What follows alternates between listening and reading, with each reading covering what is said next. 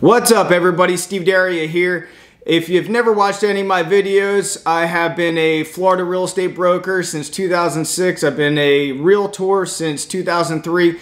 And uh, on our Facebook group as well as YouTube, I've been getting a lot of questions pertaining to um, you know, how to get started in real estate or if you're slow, what you should be doing right now. If you're feeling any kind of dip in the market and things are slow for you, these are the five things that I would do right away. The first thing is I would start a YouTube channel. I know you might be camera shy and that's okay if you are. You can actually create YouTube videos by just doing a voiceover and you can really, you know, fly a drone and have the drone flying around or tour real estate properties and talk about certain subjects, which I'm gonna give you tips on exactly what to talk about to drive traffic to your YouTube channel so you can generate organic leads.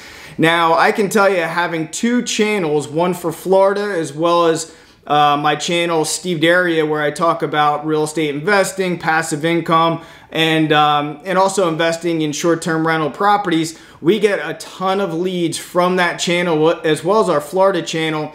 And um, we've get, gotten so many leads that actually I have to outsource because people are looking all throughout the state of Florida. So we actually set up a uh, team to handle these referrals that we refer, out to different agents in different key areas throughout the state of Florida and in some cases even in other states. So we've been generating a lot of organic traffic that way and making good commission dollars from it. So let me go through some of uh, some really um, good titles that you could talk about in a YouTube on your YouTube channel. The first thing would be the cost of living in. Okay, so I'm in Bonita Springs, Florida. So the title would be Cost of Living in Bonita Springs, Florida. You got to do your research, make sure you have accurate data, put that out as one video on your channel. The second thing would be uh, top five communities to live in Bonita Springs, Florida, or whatever community you're, or you know, whatever city or town you're in.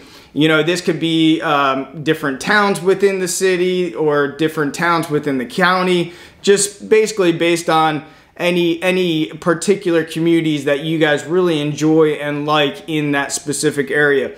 Um, where should I move to in Bonita Springs, Florida? That could be another topic comparable to the community one.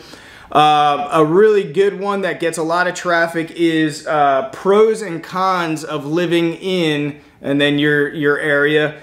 Uh, another thing is 10 things you need to know about moving to and then the area. Now, what's cool is, you know, hopefully you took notes on those or just rewatched the video. What's cool is, you know, those five titles that I provided you guys, you guys could utilize those titles over and over and over for all the different suburbs and towns and cities and everything in the area that you guys are working in. The next thing you can do right away that doesn't cost you any money is reach out to your sphere of influence, center of influence, um, look, I, and a lot of people say this, look, if you're new to real estate, get on the phones, call people and everything else. But I'm going to give you guys a simple script to utilize right now that you can start calling people because right now we're in weird times. People are feeling um, you know, different, indifferent about the real estate market right now. So I suggest that you guys call everybody that you know. And if you've been in the business for a bit, you can contact past clients and everything else. But this is anybody and everybody you know and utilize a simple script as follows. Just call and say, hey, it's Steve Daria. I'm reaching out because I'm getting more and more calls with questions pertaining to the real estate market and just how crazy things are and I just wanted to reach out to see if you had any questions that I can help answer. Now, that's just going to open up dialogue for you guys. And I think that a lot of people have a lot of questions right now. And this is irrelevant if they own real estate or they are renting real estate. A lot of people want to know what's going on.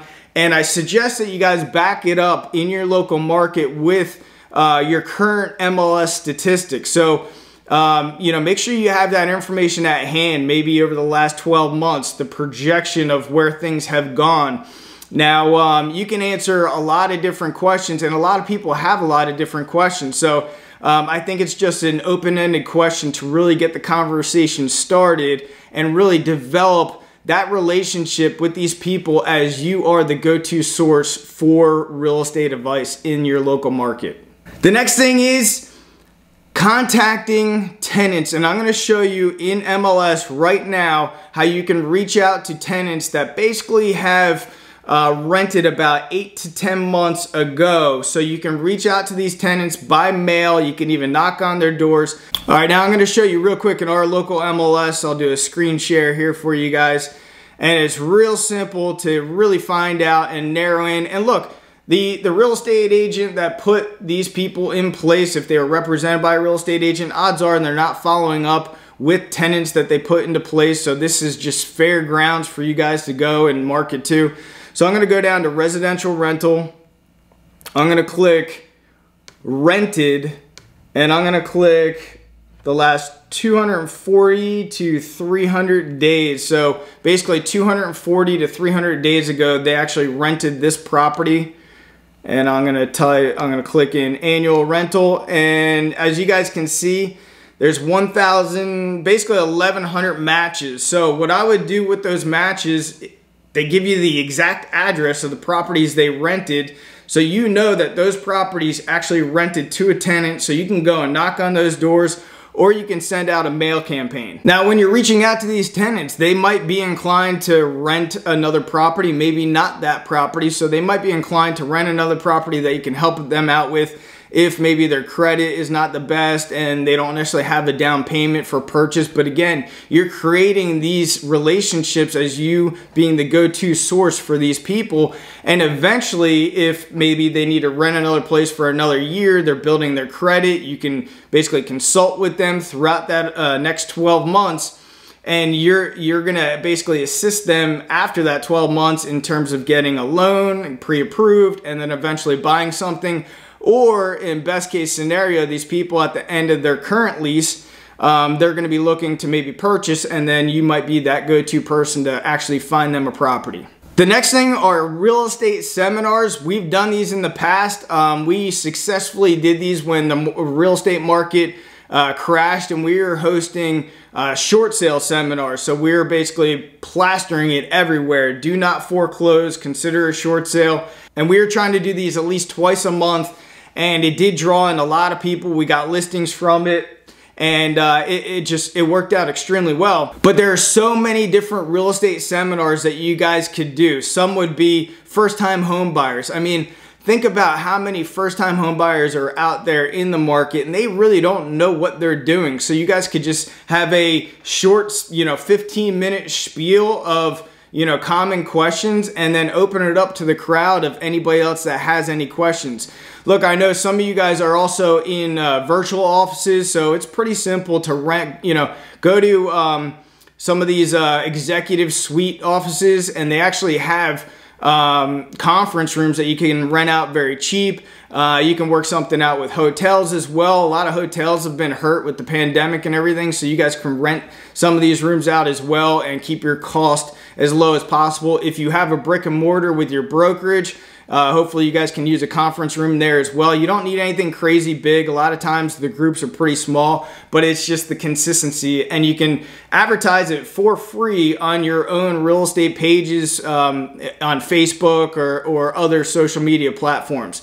Some other ideas for you guys, um, you can talk about real estate investing. You can talk about 1031 exchanges. We've done those in the past where we brought in a local company here called Midland IRA where um, they talked about 1031 exchanges. Uh, we also had them come in to talk about how you can buy real estate and invest in real estate with your retirement account.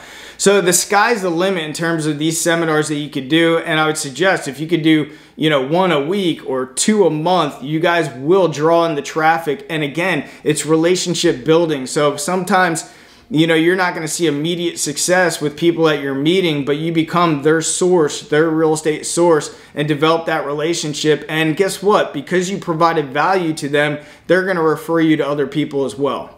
And open houses. Look, especially if you're slow right now and you're working from home or the office, don't do that. Get into open houses, get into open houses that have high traffic where you're going to draw in activity, you're going to draw in people. And look, things are probably going to be slow at certain open houses during certain times. I get it, but this is the time that you can be building on your business. As previously mentioned, starting a YouTube channel.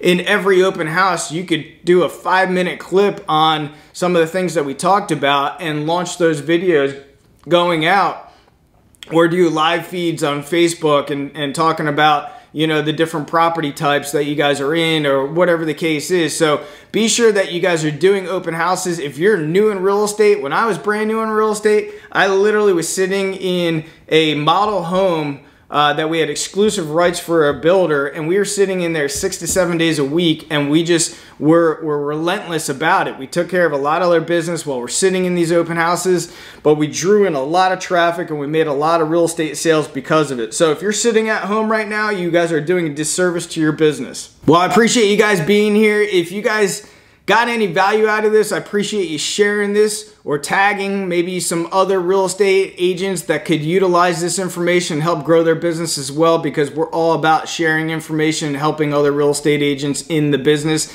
And I appreciate you guys watching. Thanks a lot.